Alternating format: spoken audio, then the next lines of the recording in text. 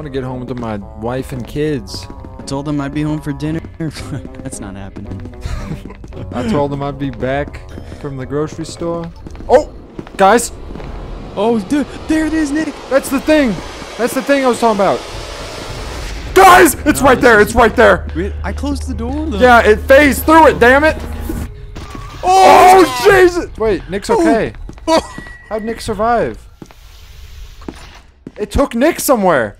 It didn't kill him, but it took him.